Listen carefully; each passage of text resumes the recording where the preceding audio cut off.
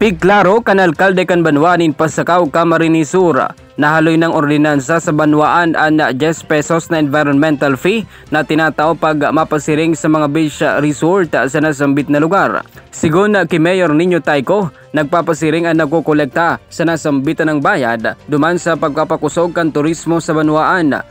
Tuyong pag nag-aabot ang summer season sa naman subuot Nagsisingil ka ng sambit na bayad para sa mga turista nga makarigos sa Mandanlain na Beach Resort kan Banwaan. Uh, bali po, 5 years na po yan na approve na ordinansa kang collection kang environmental fee sa gabos po na maduman sa mga resorts, sa mga beach goers na din sa Banwaan ni Kasakaw.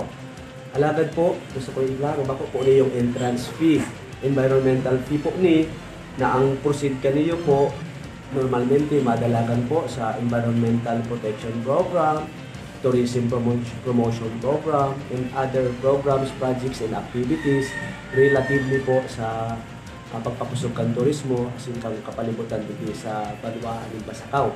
Aragad po si mga badigdi sa Pasakaw na may tuyong iba, may man po sa babayadan ng environmental fee. Ano po, saka during summer man lang kita kami yung nag co-collection para po sa regulation kung sa tuyang uh, pinapautog na kalimigan dito sa Baluan. Pasakaw, at the same time, sa operation ta po sa sa tuyang turismo dito sa Baluan. Yan po ang proceeds kaya sa ngunyan padagos ang pag-arabutan kan mga turista, mapalokal man o gikan sa ibang lugar, pasiling sa Banuanin Pasakaw como saro sa pagkukonsiderar na summer capital kan probinsya nin Camarines Sur. Yan ang barata gikan sa One Media TV48 Naga Jerome Breeze para sa News Force Bicol.